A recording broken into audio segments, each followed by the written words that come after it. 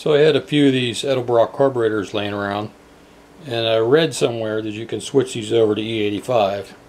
That was a mistake.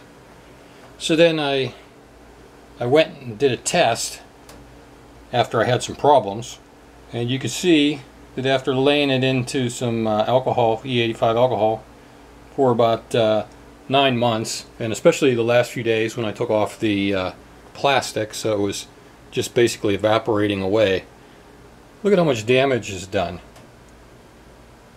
So basically the Endurashine, this, this nice beautiful shiny finish here, just gets deplated whenever you have alcohol and it mixes with uh, water in the air and the air and it turns to a light acid.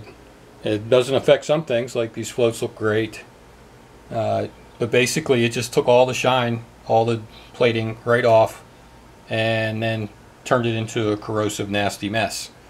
So if somebody tells you that you can take a Endurashine, you know, Edelbrock carburetor and make that into functional E85, they're wrong.